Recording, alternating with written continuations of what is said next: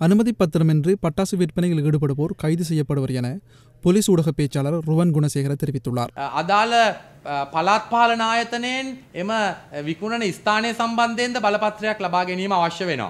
අ, විශේෂයෙන්ම මෙවැනි බලපත්‍රයන් නොමැතිව ගිනිකෙලි අ, විකුණන අ, පුද්ගලයින් අත්තඩංගුවට ගැනීමට ප්‍රතිපාදන අපිට තිබෙනවා. புத்தாண்டை முன்னிட்டு பட்டாசு விற்பனை நாடளாவிய ரீதியில் மும்முரமாக இடம்பெற்று வருகின்றது பட்டாசு விற்பனையின் போது விபத்து ஏற்படும் அபாய நிலை அதிகமாக உள்ள நிலையில் இவ்வாறான அறிவித்தல் விடுக்கப்பட்டுள்ளது.